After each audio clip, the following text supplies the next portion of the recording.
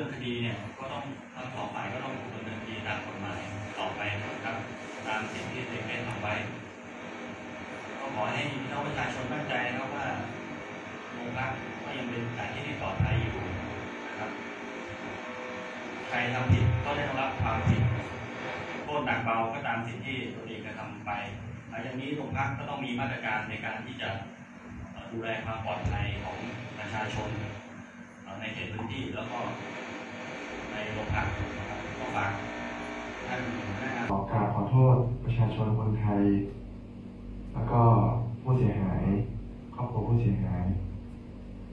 แล้วก็ทางครอบครัวของเองครับที่สิ่งที่ทำลงไปคือ มันเป็นอารมณ์ชั่ววูบครับแต่ผมรู้สึกสำนึกผิด แล้วก็เสียใจในสิ่งที่เกิดขึ้นจริงครับ ครับผมแล้วก็ ได้พูดกับทางคู่กรณีเรียบร้อยแล้วครับ ก็คุยกันทุกฝ่ายก็ ตอนนี้ก็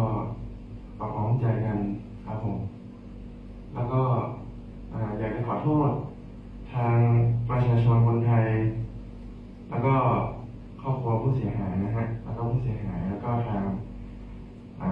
ทางเจ้าหน้าที่ทุกฝ่ายนะครับ แล้วก็ท่านผู้กำกับครับผมครับทำ ให้ทุกฝ่ายเดือดร้อนครับรวมถึงตัวผมเองด้วยครับครับอ่าขอกราบขอโทษประชาชนคนไทย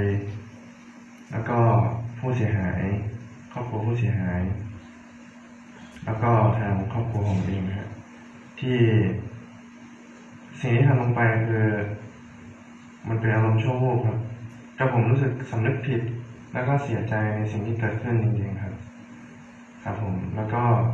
ได้พูดกับทางคู่กรณีเรียบร้อยแล้วครับ ก็คุยกันทุกฝ่ายก็ตอนนี้ก็ปรับความเข้าใจกันครับผม แล้วก็ออยากจะขอโทษทางประชาชนคนไทย แล้วก็ครอบครัวผู้เสียหายนะฮะ แล้วก็ผู้เสียหายแล้วก็ทาง ทางเจ้าหน้าที่ทุกๆฝ่ายนะครับ แล้วก็ท่านผู้กำกับครับผมครับทำให้ทุกฝ่ายเดือดร้อน ครับรวมถึงตัวผมเองด้วยครับ ครับผมไม่ไม่ไม่ไม่ค้างที่าก็ให้โอกาสเขาแก้ไขครับ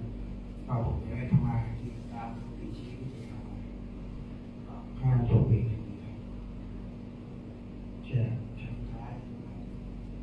ก็ให้โอกาสให้เขาเอาแก้ตัวแต่ส่วนผมในสิ่งที่ว่าถ้า ทางที่ไปทำร้ายเขาก็กับน้องชายก็ขอโทษในการนี้ด้วยพี่ก็ขอโทษด้วยในสิ่งที่ทำไปครับผมทางผมก็ไม่ติดใจเอาความนะครับครับผมก็ไม่ไม่ไม่ไม่ไม่ไม่ไม่ทักทายก็ให้โอกาสเขาแก้ไขครับก็ผมจะได้ทำมาหากิน